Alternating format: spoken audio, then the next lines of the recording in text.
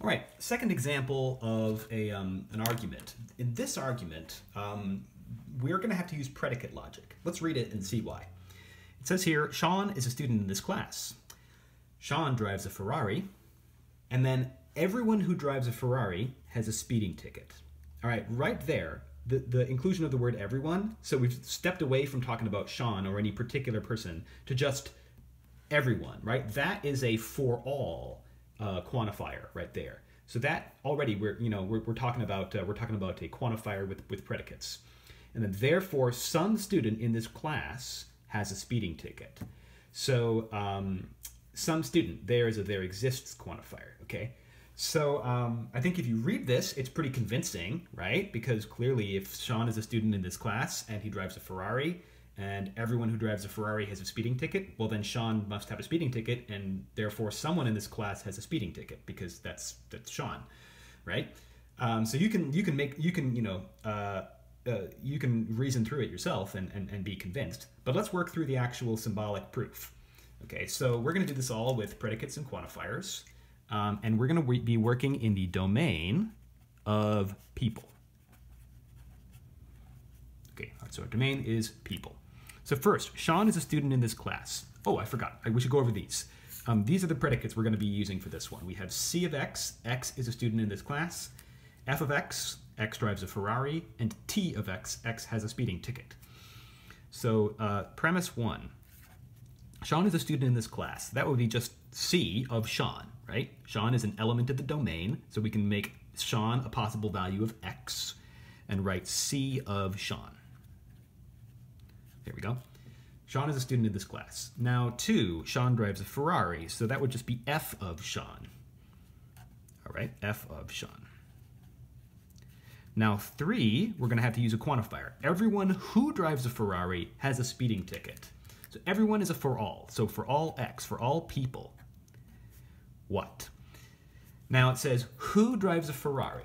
Uh, back in, in, in 1.4, I didn't, I don't think I explicitly pointed this out, but you may have noticed that if you want to limit what you are claiming to just a subset of the domain, what you can do is use an implication statement. In this situation, we're going to write uh, for all people, X, if they drive a Ferrari, if f of x then they must have a speeding ticket, then t of x. So what that does is, it, is it's essentially saying, essentially limits, limits it to everyone who drives a Ferrari, right? So for all x, if they drive a Ferrari. Um, if you have people who don't drive a Ferrari, then this implication is vacuously true, and it still satisfies, you know, it's still being satisfied. But if you have someone who does drive a Ferrari, this implication is only true if they also have a ticket right? Because true implies true is the only way to make to get a to get a true out of an implication um, with a true hypothesis. So that's how uh, you can represent that statement. Now the conclusion, therefore, some student in this class has a speeding ticket. So this is going to be there exists X. Now, in this case, we don't want to do the implication. We, don't want to say if they are a student in this class, because um, then you could satisfy existence with a person who's not in the class, and that's, that's, that would be vacuous. Instead, we just want to say there exists a person, x, who is in this class, so, so c of x, and they have a speeding ticket, so and uh, t of x. Okay, let me pause and see how I'm doing. Yes, I think I, so. It's all good. All right. So there's how we uh, represent our argument. Okay, so now to, be, to prove uh, proof validity, we're going to start by assuming uh, 1, 2, and 3, right? Assume our premises. And now um, we're going to look for things to conclude. So here's where we're going to need to use, uh, we're going to need to use uh, rules of inference that we already talked about, but we're also going to need to use these ones down here. These are special rules of inference that specifically apply to um, applied to uh, situations where you're using quantifiers and predicates.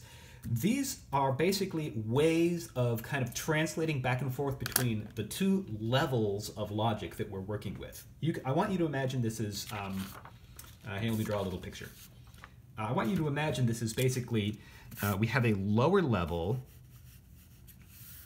of logic, which is propositional logic. And then we have sort of a higher, more sophisticated level of logic, which is our um, predicate logic. And these rules of inference here, these ones on the bottom, these are used to sort of sort of migrate or navigate back and forth between these levels. So let me show you what I mean. Um, if you have uh, this, first one, universal instantiation, says if you have for all x p of x, kind of like we do in this argument. In the third premise, we have for all x something, right? If you have for all x some proposition p of x, then you can write p of c for any c that you want in the domain. Okay, so that's essentially saying you can apply that predicate p to any element of the domain you want, and it's going to be true, right? Because it's this is claiming that it's true for all. Um, so that takes you from the predicate level, where you have a quantified predicate with a variable, down to the propositional level, where you just have a predicate with a with a constant inside of it. This is a proposition. This is a proposition too, but it's quantified, right? Um, so it's kind of bringing it down one level, and then you can work on that P of C using rules that apply in propositional logic. Now, the universal generalization is the opposite of that. If you have P of C for an arbitrary C, right? So if you have if you know P of C for some element of the domain which is arbitrary, this word is extremely important. Arbitrary means that it could be any element, right? It's not the truth of P of C is not dependent on the particular C value. It's just it's an arbitrary one then you can generalize it and say it must be true for all. So this is going from predicate level, sorry, from proposition level back up to predicate level.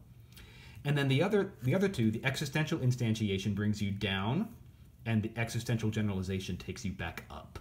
So um, that's uh, how you can think about those. I'm going to show you how to use them. In this case, the first thing we want to do uh, is um, take our pre pre um, premise number three, and we want to uh, instantiate it. We're going to use the universal instantiation. We're going to instantiate it with the instance of uh, Sean, right? Sean is going to be the particular element we apply it to. So we can write f, taking, taking from here, we can write f of Sean implies t of Sean. That is a um, universal instantiation of number three. All right. So we're saying for all people, if they if they drive a Ferrari, then they have a speeding ticket. Now we're saying Sean drives a Ferrari, therefore Sean must have a speeding ticket. Okay. So now five. Um, we do know Sean drives a Ferrari, right? So that's the that's the hypothesis. We can use modus ponens now, so we can conclude this this T of Sean here. That is modus ponens of uh, premise two and statement number four here. All right, now we've got T of Sean. Um, well, what we're aiming for is this, right? We're, we're trying to get here. There exists x, c of x, and t of x. Well, we have t of Sean, we also have c of Sean. So why don't we put these together? If we know this and we know this, we know their conjunction. So number six, we know c of Sean and t of Sean. That is just a conjunction of number 1 and 5. Conjunction. Conjunction is one of our rules of inference here, conjunction. If you know P and you know Q, then you can write P and Q. Right. Note that um, we can only use this, we, you can only use conjunction. I mean, in general, you can only use these ones up here if what you're dealing with are propositions, okay? So um, you have to, we have, we, it, we needed to do this instantiation and and and you know and conclude T of Sean. We needed to do that um, before we could apply the rules of inference. I mean, we needed to do that before we could apply modus ponens even. All right, the instantiation has to happen first before you can apply any of these rules up here. All right, so now we have C of Sean and T of Sean. Now we're ready to to to go back um, from the proposition level back up. You know, now we're doing this way. We're going to go back up to the predicate level. We want to generalize and say, therefore, there exists an x, c of x and t of x. That is our uh, existential generalization rule here. We know p of c for some c, and we're going to conclude there exists x, p of x. So in this case, we're going to write, uh, from this, we're concluding there exists x, c of x, and t of x by existential generalization of number six. And that is our conclusion, which completes the proof.